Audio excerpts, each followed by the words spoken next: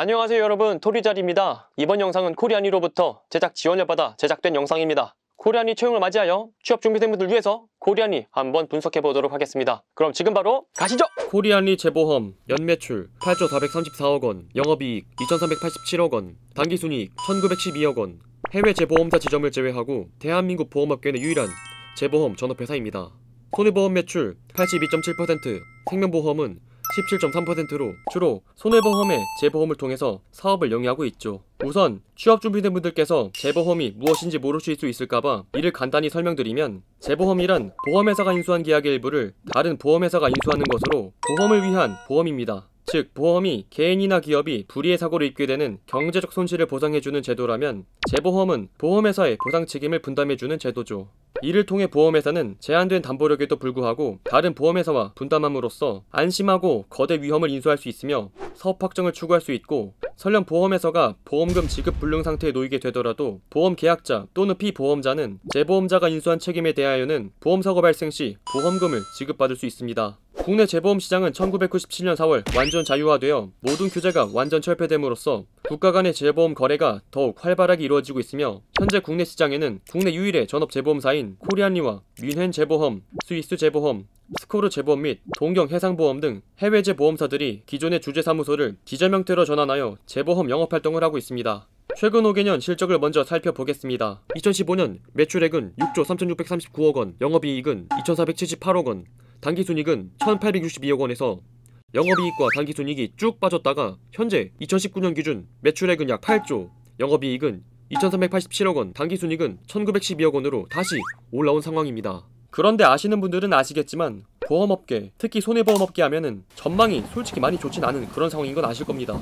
손보는 수익성은 낮아지고 있는데 비용은 증가하고 있고 생보 쪽도 현재 사상 최저금리 행진으로 역마진을 쏟아낸 것이 올해죠. 그래서 현재 보험산업 성장률은 1.5%, 생명보험은 5년째 내리막길을 걷고 있고 최근 벌어진 팬데믹 사태로 인해 대면 영업 환경 악화, 보장성 보험 증가세 둔화, 저축성 보험 감소세 지속 등 보험 시장의 상황은 더욱 안 좋아지고 있습니다. 그래서 보험사 손익은 보여드리는 그래프처럼 2016년부터 지속적으로 손익이 감소하고 있는 아찔한 상황인 것이죠. 자 그런데 여기서 다시 국내 유일의 재보험사인 코리안이 이야기를 다시 꺼내보면 오히려 코리안이 영업이익 및 단기순익은 다시 회복을 했어요. 자 대표적인 재보험사인 코리안이는 어떻게 회복을 했느냐 자 코리안이가 이처럼 실적을 회복한 이유는 다름 아닌 해외 시장이 있었습니다. 실손, 자동차 보험 손해율 상승 등으로 인한 손해보험 실적 악화에도 불구하고 해외 수재 영업이익이 선방한 덕을 톡톡히 봤어요.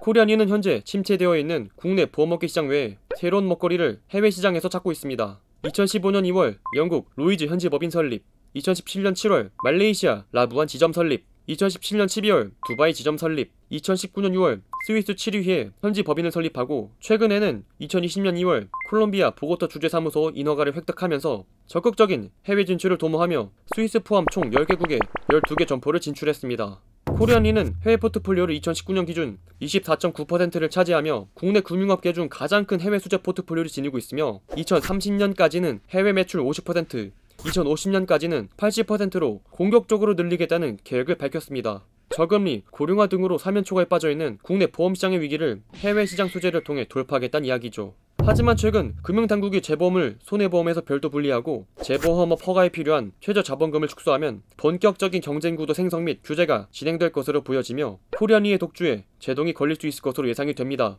하지만 신규제 보험사 설립이 과거 여러 번 무산된 적이 있고 시장 확대에 대한 기대감이 크지 않다는 의견도 있어 향후 시장이 어떻게 재편될지는 주목해봐야 할 듯합니다. 그리고 최근 코리안리는 초대형 글로벌 투자회사 중 하나인 칼라이 그룹과 전략적 제휴관계를 맺고 공동 재보험과 관련된 상품 개발 및 서비스 제공을 공동으로 진행할 것이라고 밝히며 금융당국의 규제로 시작된 위기를 지혜롭게 벗어나려는 준비를 하고 있습니다.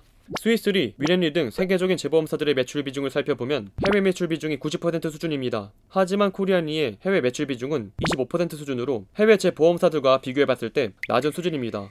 코리안리는 세계 10위 규모의 재보험사이긴 하지만 앞서 말씀드렸듯이 매출 비중이 국내에 치중되어 있어요. 그래서 해외 시장의 특징인 높은 진입장벽으로 코리안리가 목표로 하는 해외 매출 비중 80% 달성 및 흑자 실현까지의 기간이 뜬구름 잡는 이야기라는 것은 아닌가? 라는 생각이 취업 준비된 분들께선 들 수 있어요. 하지만 해외 진출을 노려봐야 지금 이 순간 가장 먼저 인자하게 기다리고 있는 시장이 있습니다. 바로 저기 진핑용의 중국이죠. 보험업계에 따르면 2017년 중국 보험시장 수입보험료는 전년 대비 16.2% 성장한 5,400억 달러를 기록했고 이는 전 세계 보험료의 11.1%를 차지하는 규모로 미국에 이어 두 번째로 큰 시장입니다. 보험 침투율도 4.6%로 비교적 낮아 보험업의 성장 잠재력이 높죠. 국내 보험회사들도 중국에서 아직 시장 점유율은 미미한 상황이지만 중국 법인에 대한 투자를 추진하고 있고 중국의 대도시와 산업화, 인구 밀집 등에서 발생하는 위험에 대한 인식이 높아지고 이와 함께 보험에 대한 수요가 증가하고 있는 것이죠. 한국에서 57년간 독보적인 지위를 통해 노하우를 쌓았던 코리안리에게 인접 국가에 블루오션이 있다는 것은 큰 행운입니다. 코리안리는 기존에 있던 북경사무소 외에 금융사가 밀집되어 있는 상해에 새로운 거점을 마련했습니다. 2018년 중국 내 상해 지점에 내인가를 획득했고 2019년 말 본인가를 획득해 영업 중입니다. 본격적인 해외 매출 비중 증대를 통해 다시 떠오를 것을 기대하고 있습니다. 국내 보험업계가 지금 저금리 기조, 사업비 증대 등으로 인해서 수익성, 성장성, 양면 모두 양타격을 받고 있는 지금 국내 대표 재보험회사 코리안리는 이 같은 상황을 해외 매출 증대를 통해서 타개하고 있습니다. 공격적인 해외 시장 진출로 해외 재보험 기업처럼 해외 매출 비중을 80%로 끌어올리려고 하고 있죠. 해외 재보험사처럼 해외 매출 비중을 80%로 끌어올리면서 안정적인 성장 기반을 다져 놓으려는 것이죠. 유럽, 남미 등의 시장은 진입 장벽이 높지만 언제나 스케일 하나만큼은 확실히 보장해주는 우리의 중국 시장에서의 탁월한 성공을 통해서 국내 재보험 시장의 1등 공신 글로벌 탑10으로서의 역할을 여실히 해주시길 바라겠습니다. 오늘의 영상은 여기까지입니다. 영상의 내용이 좋았다면 구독과 좋아요 한 번씩 부탁드리도록 하겠습니다. 그리고 코리안리는 채용 예정입니다. 코리안리에 입사하셔서 여러분들이 원하시는 꿈 모두들 이루시길 바라겠습니다. 저는 또 다음에 좋은 영상으로 찾아뵙도록 하겠습니다. 그럼 다음에 또 만나요. 안녕!